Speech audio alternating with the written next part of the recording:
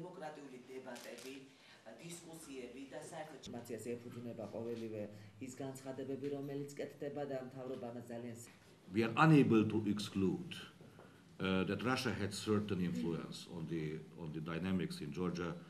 We are not of the conviction that too much reference to be made by the Georgian government on the Russian influence is helpful to overcome the current problem.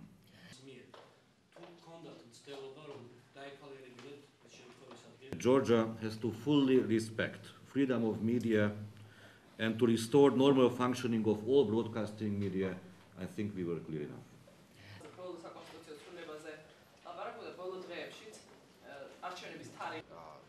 Не только вот, например, я сейчас э, э, прямо отсюда. I think uh, in Georgia all understand, not only Georgians, foreigners also, that without Imedi station, election company will be absolutely catastrophe.